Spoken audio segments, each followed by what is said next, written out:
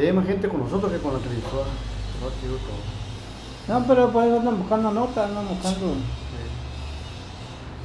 andan buscando nota. Estamos con el coordinador estatal de Napafa, Fidel Guayana. A ver qué nos comenta sobre las nuevas eh, afiliaciones de los carros en- tanto en Cajeme como en Sonora. Tanto en Cajeme Como en el estado de Sonora. como el estado de Sonora. Ok. Este, no, pues realmente desde que se implementó el, el arancel de la importación de vehículos por procedencia extranjera, basándose en el Tratado de Libre Comercio, el, el TLC Estados Unidos, Canadá y México, este, pues sabemos que subió el arancel y después subió el dólar. Entonces se implementó muy elevado el costo este, a la legalización de los vehículos extranjera. Y no nada más a la legalización de los carros chuecos, también este, a, la mercancía, a la mercancía de procedencia extranjera. Entonces sabemos que ahorita fue el motivo de que, la, el de que pues, sigan entrando los vehículos de procedencia extranjera al país por todas las fronteras. Si anteriormente entraban el, el 5% de vehículos americanos porque se podían importar, la mayoría, el 95% entraban ya importados, pagando impuestos. Este, eh, el 5% entraban americanos, ahorita es al revés. Ahorita el 95% de los vehículos de procedencia extranjera están entrando este, irregulares. ¿Por qué les digo irregulares? Porque todo el mundo maneja ilegales y no son ilegales, son irregulares porque no son regularizados. Entonces el 95% ahorita de la mercancía de procedencia extranjera, que es en los vehículos de procedencia extranjera, están entrando irregulares al país. Entonces, ¿qué es lo que está pasando? De que a la pregunta que ustedes me hacen es de que este, ¿cómo, cómo está la situación si están entrando más vehículos. Esa es la realidad. Están entrando más vehículos al país. Nosotros como organización nos preocupa. ¿Por qué? Porque mientras siga la corrupción este, en las fronteras, entrando los vehículos checos al país, quiero pensar que el gobierno federal esté de acuerdo que, que, estemos limpiando Estados Unidos, porque sabemos que un vehículo de procedencia extranjera, un vehículo de Estados Unidos, este, son chatarras para ellos, pero a nosotros, a las familias mexicanas, a las familias sonorenses, nos preocupa porque nos hacen falta esos vehículos. Para nosotros son vehículos nuevos y al costo que lo están dando allá, pues este, nos vamos donde nos den más barato, ¿no? ¿Por qué? Porque no podemos comprar un carro nacional, porque sabemos que este, con el enganche que damos nosotros aquí en una agencia de carros, este, compramos un carro americano, nos quitamos de problemas. Entonces, ¿cómo están entrando los carros? Por la corrupción que existe. Este, pero eso no es asunto de nosotros. Nosotros como defensa del patrimonio familiar lo que estamos interesados nosotros es que el gobierno ponga cartas en el asunto y que haga, que tape las entradas y que saque una legalización para los vehículos que ya están aquí en el interior y se le dé una solución al problema. ¿Por qué? Porque nosotros nos preocupa porque donde quiera este, la gente anda con la zozobra de que, que les quitan mochadas, si no les van a quitar el vehículo y, y todo eso. Entonces no se vale. Ahorita le pido yo al gobierno, al gobierno federal que tiene facultad para que le dé solución a este problema, que este, pues que pugne, que pune una legalización. Nosotros como organización, yo acabo de llegar a la Ciudad de México y este y de hecho traigo algunos documentos ahí, este realmente son documentos que nosotros logramos sacar de allá donde ya viene una próxima legalización, viene una próxima legalización, pero necesitamos el empuje del gobierno del estado, de los gobiernos municipales, estatales y federales. Y nosotros como organización lo estamos haciendo. Este, ¿Por qué? Porque tenemos un Consejo Directivo Nacional en la Ciudad de México, somos una organización a nivel nacional, tenemos 25 años gestionando esto, ya va, llevamos 8 legalizaciones, 8 decretos, este, vamos por el no, noveno decreto, este, esperemos que esto ya salga, esto ya está aprobado en el Senado de la República, la, inici la iniciativa de ley que se presentó por las cámaras de diputados. ¿Y por qué se presentó por la Cámara de Diputados la iniciativa de ley? Se presentó porque nosotros presentamos como organización de UNAPAFA preocupados por el problema que existe en el país, presentamos unos pliegos petitorios. Nos fuimos a las cámaras bajas, a la cámara alta, a la cámara de, la gobernación, a economía, a la misma presidencia de la República. Yo tengo documentos donde se les entregó de recibidos y ahora sabemos que ya se aprobó, se aprobó por el Senado, estamos esperando nada más que lo publiquen en el diario oficial de la Federación, se ponga de acuerdo, pues eso lo tiene que revisar el presidente de la República y conjuntamente con Hacienda, ¿para qué? Para que esto se le dé una solución definitiva. Pero sí nos interesa a nosotros y le pedimos al gobierno del estado de Sonora y así en todos los estados de la República, porque en todos los estados de la República tenemos presencia y los coordinadores estatales y municipales también están haciendo lo mismo que yo estoy haciendo.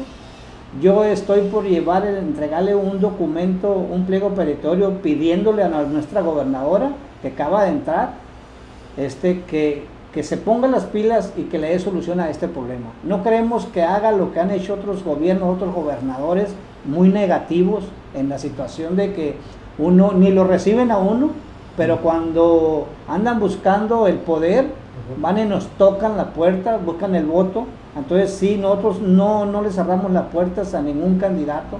Siempre como familia nos interesa a nosotros que se le dé una solución a los problemas sociales. Y por eso este, pues también vamos a ir a tocar puertas. ¿Para qué?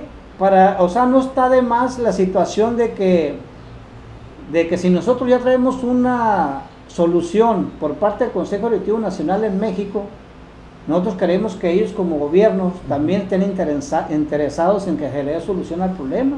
Por eso vamos a ir nosotros al sordo, hay que gritarle, hay que ir a tocar puertas y decirles, este, estamos en este problema. Andan inventando impuestos a los carros ya nacionales, sabiendo que no es necesario inventarles impuestos a los más carros que son nacionales que, supuestamente se quitó la tenencia y que todo eso, pero inventaron otro impuesto que es más, es más caro que la tenencia. Entonces no estamos de acuerdo. Hay mucho dinero y hay mucho donde sacar. Si legalizan el millón y medio, casi dos millones de vehículos a nivel nacional, le va a entrar mucho dinero al gobierno. En los estados, aquí en el estado de Sonora, tenemos casi 200 mil vehículos. Y aparte también este tanto funcionarias, talleres mecánicos y todo. Sabemos, sabemos que, que ese dinero está ahí. Nosotros, los carros americanos, les echan mucho a los carros americanos. Sabemos que los carros americanos este, ya están pagando un impuesto. ¿Por qué? Porque compran gasolina, compran este, líquidos, compran combustibles, compran, compran llantas, compran refacciones, ya están pagando un impuesto. E, ese, esos 200 mil vehículos que andan aquí en Sonora, que se paren de echar gasolina un día para que vean que ya no va a entrar tanto dinero, porque entra dinero, o, o, X, cualquier cosa. Es una, vamos a suponer la situación. No se va a llegar el caso porque sabemos que estamos poniendo gobierno ahorita que están interesados en, es lo que dijeron en sus campañas y esperemos que lo resuelvan, ¿no? Que es que haya una solución al problema social de los carros de procedencia extranjera, que es parte del patrimonio familiar, porque sabemos que un carro americano no es un lujo, ya es una herramienta de trabajo. Si yo no tengo un carro para mover, llevar a los hijos a la escuela, llego tarde a mi trabajo. Para llevar el sustento a la casa, a que coman, que coman la familia. O sea, es, es una herramienta de trabajo, ya no es un lujo. El que lo vea como lujo, pues es el que tiene dinero, el que tiene poder. Porque hay gente que sí traen, que sí traen este, que sí tienen dinero y traen un carro de lujo. ¿Por qué? Porque pues tienen la manera, pero este, la mayoría de los que son afiliados a Banapafa, los que son carros americanos, este, gente pobre, es el que trae un carro humilde, una troquita, una vagonetita, un carrito cerrado, económico. ¿Por qué? Porque no pueden traer sus carrazos, esas troconas, porque no tienen para la gasolina. Entonces sabemos que nosotros esperemos que, que el gobierno le dé solución a este problema. Lo que yo les puedo informar es de que, de que ya viene una legalización, no sabemos para cuándo, pero ya va adelantada la situación. Por eso le vamos a pedir a los gobiernos que, ellos, que ellos este, le, que ellos le den solución al problema, que nos ayuden, que nos, que nos este, que ellos empujen estas, estas iniciativas de ley que ya están aprobadas para que salga rápido y este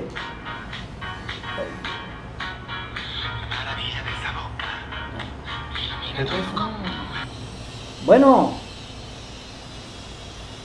sí, estoy en, estoy en una rueda de prensa, señor. Háblenme unos 20 minutos. Bueno,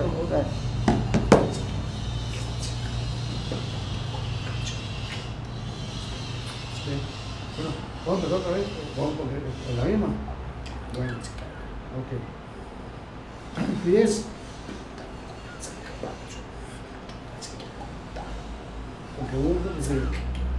Ajá. Fíjate que vamos a ver, por ejemplo, si una persona tiene un problema o algo, pueden acudir los teléfonos de dirección y aparte de un mensaje. Así es, de hecho nosotros este, tenemos el teléfono las 24 horas del día. Este eh, Onapafa tiene las puertas abiertas, no importa para qué organización sea.